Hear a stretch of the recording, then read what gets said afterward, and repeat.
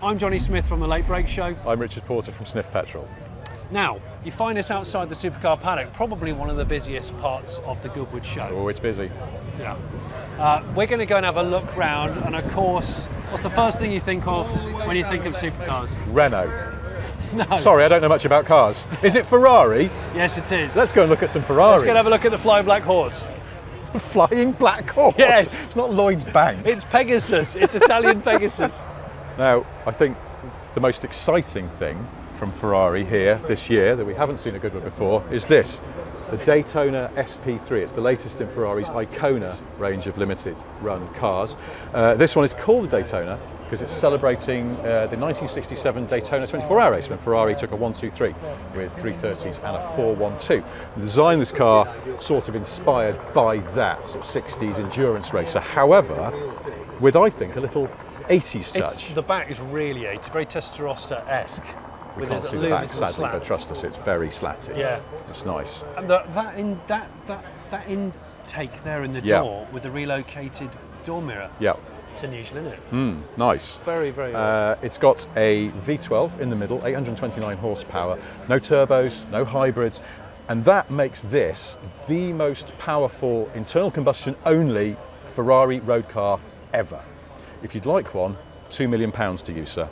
and even then, they wouldn't sell me one because I've never No, bought a new Ferrari no, before. and they're only making 599. However, there are other Ferraris here we haven't seen at Goodwood before that aren't limited edition. We're going to go and look at one of those over here.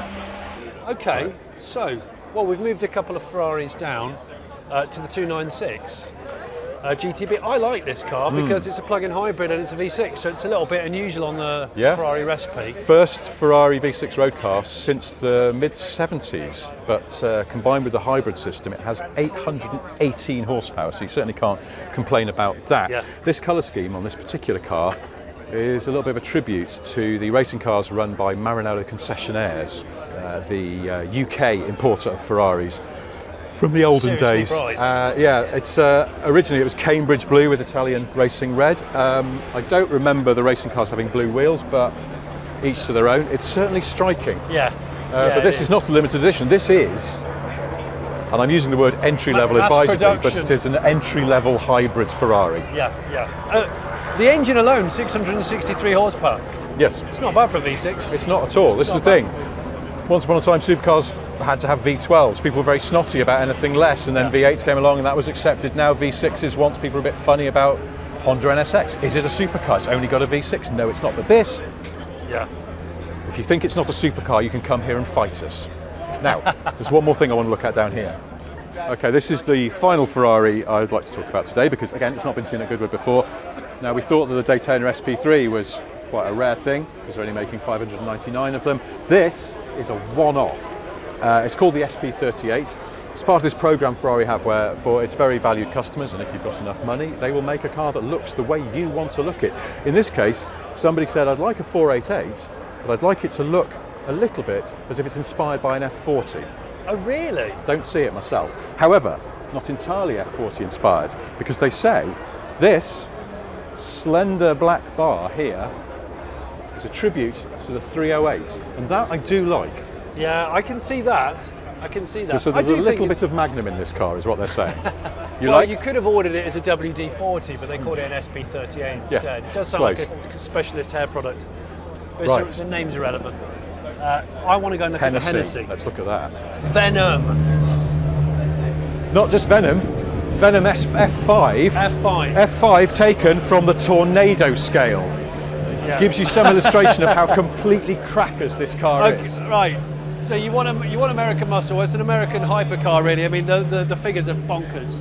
Over 300 mile an hour top speed from a 6.6 twin turbo uh, V8 uh, Chevy LS base motor. It's basically a drag racing engine, isn't it? from what I can gather. Which is yeah, it was eight, interesting. it's 1817 brake horsepower. Okay, which means it's a thousand horsepower more than Ferrari's F8 Tributo.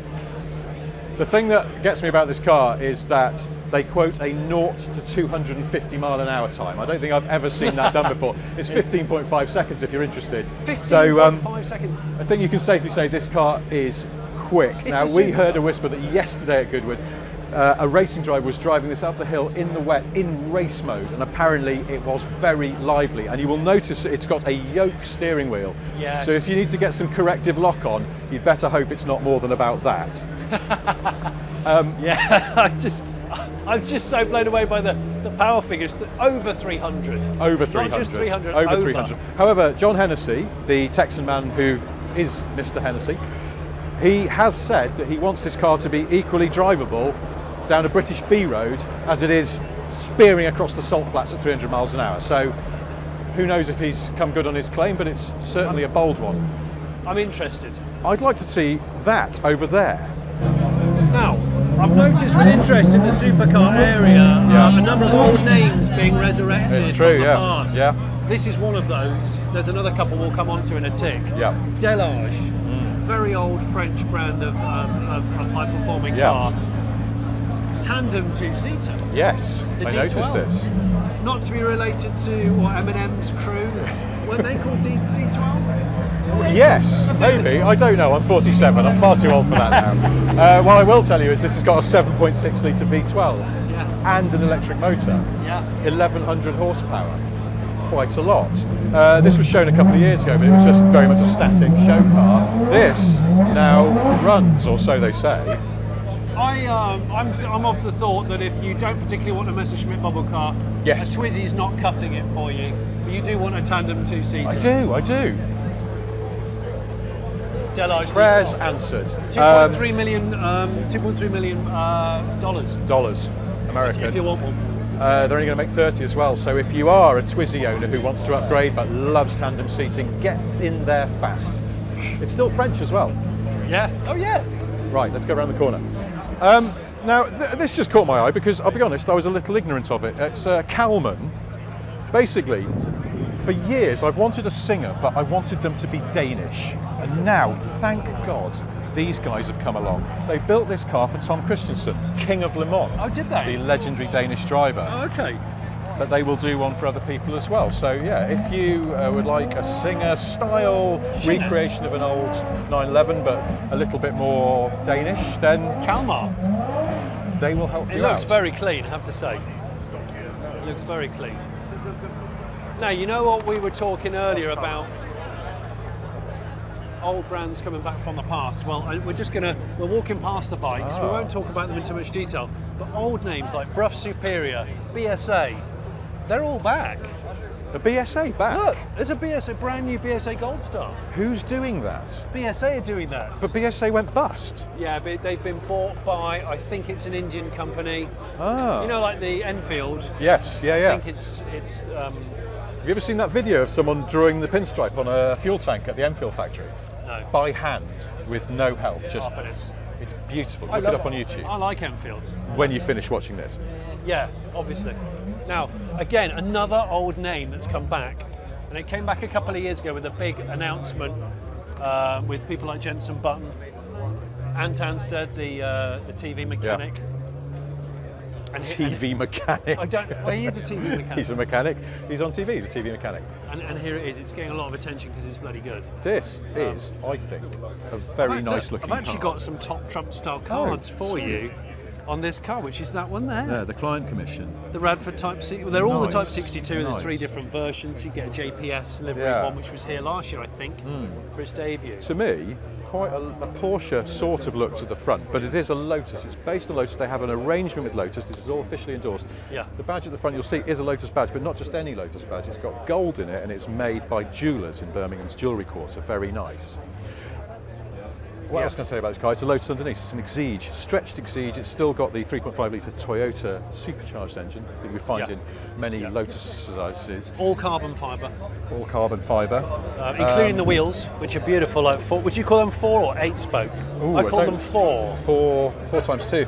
Yeah. The mirrors uh, look like little sort of endurance racing mirrors, but those are cameras feeding screens inside in the modern way. A lot about this is very modern, although the overall look sort of is referencing older cars. Uh, they're only going to make 62 of these in total, so um, not many to go around. But if you want a car where you can say my handling was set up by Jensen Button, Yeah. then That's true. This is your best bet. This is the most powerful iteration as well, this particular car. So this is 605 brake horsepower, uh, 0 to 62 in 2.9. So again, 2. Point, everything's under 3 seconds. Pretty much everything around here is under 3 seconds. You know, you were just talking about that Ferrari being the most powerful naturally aspirated Yeah. Ferrari V12. Well, let's head over there because Lamborghini are doing a similar thing Let's go over there. on that side of things. Yes. The final Aventador, aka Ultime, Italian for final. Also a range of bras, I seem to remember. But what this signifies is your dear old Aventador is coming to the end of its life. Yeah. And that means this is the last naturally aspirated V12 Lamborghini that we are likely to see. There will be a replacement for this car, but it'll be a hybrid. It won't just be a whacking great engine doing all the work on its own. And what work it's doing, 780 horsepower. It's the engine from the uh, Aventador SVJ, but with 10 extra horsepower just to see the old girl off in style. this. But I get a bit confused with all the Aventador editions because there's been quite a few. Well, it's a, it's a famous fact that uh, the only car with more limited editions than the Citroen AX is the Lamborghini Aventador, but this is the very, very last So one. this is his retirement. This is his care home swan song. Yes, unless of course they do a Pagani. Uh, you know, Pagani can't stop making the Zonda.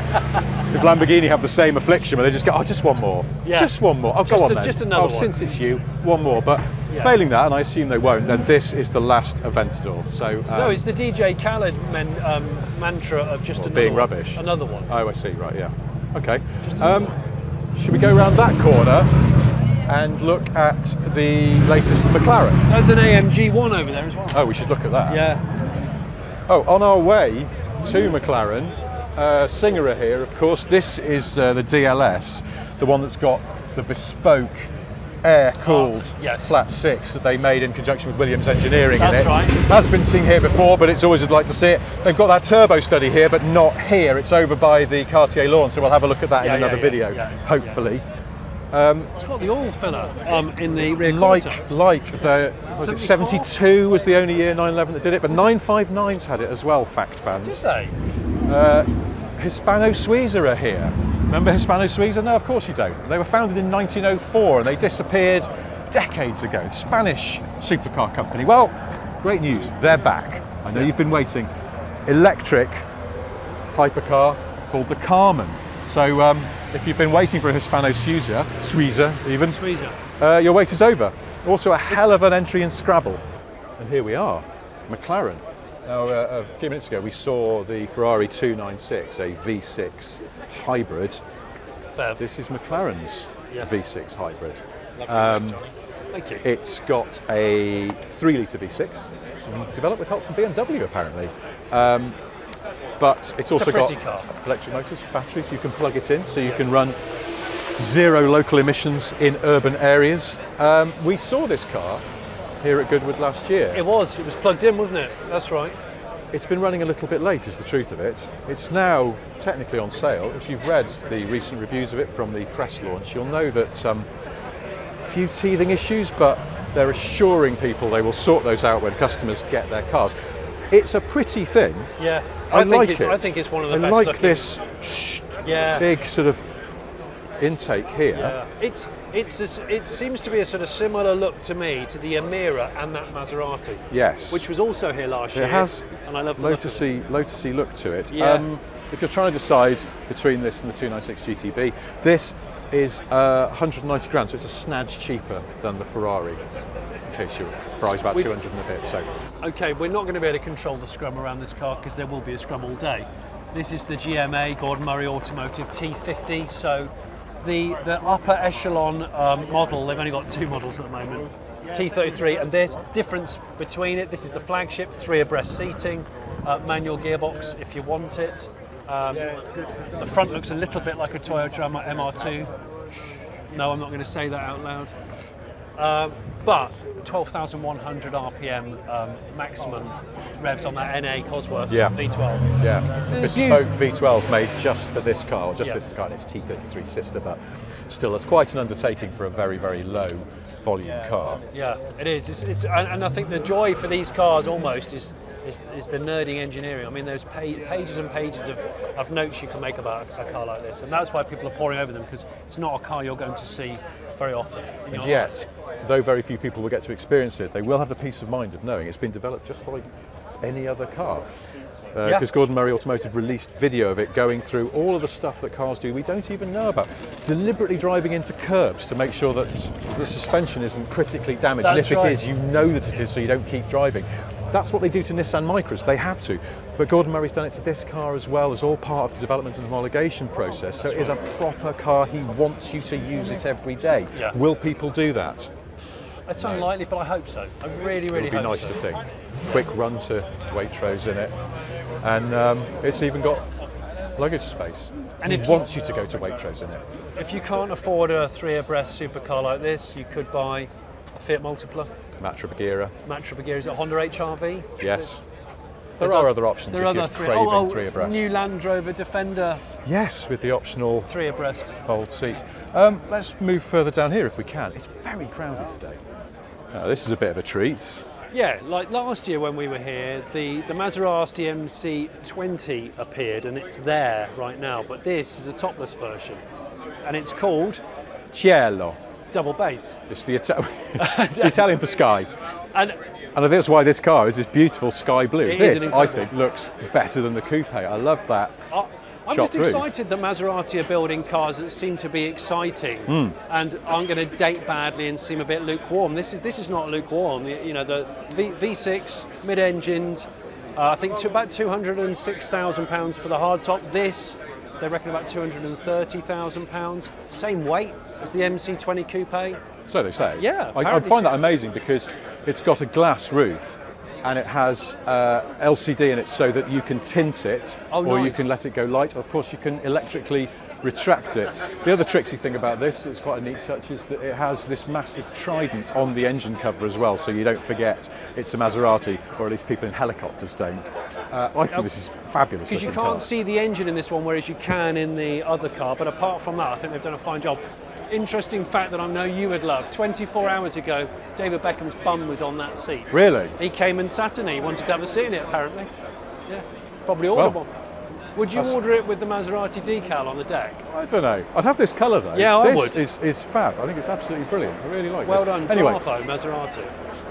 Nice giallo. Round the corner, more tasty treats. Right, You don't see Vantages around much, do you? No. It's weird. No, Felt like the old don't. one. You used to see them all over the place in cities and things, and now they're a great second-hand buy now. I know that's not what we're here to tell you about, because this is the new stuff. suddenly become used car news in supercar But uh, paddock. a V8 um, Vantage now, 40 grand. Yeah. Right, there's one final car we want to show you, and it's over there. Right, Right, there's hidden one behind a last wall. thing. Now, Hidden behind a we've wall. got to sneak down here and get around the back because there's such a scrum at the front of this car. Bloody hell. One of the most hotly anticipated things. Not new, it's been around for ages. Like people have known what it looks like. It's the Yeah. Mercedes AMG 1 famously their F1 inspired hypercar. Now, the F1 in connection comes primarily from the fact it has a 1.6 litre V6, supposedly the engine from a Mercedes F1 car. It's not. They've had to work very hard at things like making it just sit happily in traffic, which a road car has to do. Simply An wouldn't. F1 car, as we know, anyone who watches the Formula One knows that F1 cars get very grumpy even behind the safety car, never mind at five miles an hour on the M6. So they've had to work extremely hard creating an F1 alike engine, allied to a hybrid system, makes for 1,048 horsepower. Another V6 Fev. Another V6. No more V6 snobbery anywhere because No. even at this level, and of course in Formula One, there is a V6 engine at the heart of the cars. Stunning thing. 275 are going to be made worldwide. So again, it's one of these cars like the T50 and stuff. You are. That's why they're under such scrutiny here. You just will not see them out in the wild, hardly ever. this Um, is uh, two and a half million pounds. Yeah, I believe it is. So, Yeah, I think it's- So there are a few barriers to entry. One of them being Yeah. supply, the other one being price. But um, I don't know. This is, more, ever? this is going to be more about the driving experience because I don't know that sounds bad because when you look at the 0 to 60 and stuff, you're saying it's 2.9 to 62. There's an awful lot of sub three second cars. Yeah. I mean, te- Tesla family cars are sub Yeah, three I think most of the stuff that we've looked at here in the supercar paddock would match strides with this, and this has been in development for five or six years Yeah. now. It's been a long time coming because they've had so many difficulties making it work, Yeah. and it's it's I on paper not not incredible, not mind blowing, but but then at the same time it has this sort of sheen of an F1 connection. I'm sure collectors will go for that. Who knows? I sort I of saw feel one testing when I was filming a, an electric car launch Hmm. at Millbrook. I wasn't allowed to film it or take any photos of it. I can tell you, it sounds like a strimmer. I Ah. actually thought it sounded like a strimmer. someone's streaming around it. Yeah. No, it's the AMG one. Do you ever embark on a project at home and your wife says, "Is this a good idea?" and you, you're too stubborn to admit that it's not? That's most weeks of my life. This is that on a corporate scale. Mercedes went, we're going to do this, and then they realised it wasn't working so well, but they couldn't admit that they had to give it up. And now, at last, they've bloody mindedly got it working, just like me and those shelves. It's very tricksy. Um, The front end is the is It looks fantastic. good, and it is drawing a crowd, which is something that a supercar has to do. That's sort of the point of supercars, Yeah. really. They bring joy to other people, not necessarily the person driving them. I always said Yeah. that about the Aventador. The nicest way to enjoy an Aventador was from another car, Yeah, because then I you can look at it. I agree. It's a And- theatrical beast. It's a show. You're putting Yeah. on a show, and if you want to see a show, you want to see some beautiful cars that draw crowds. Come down to the supercar paddock. It's fabulous. You'll be one of millions of people.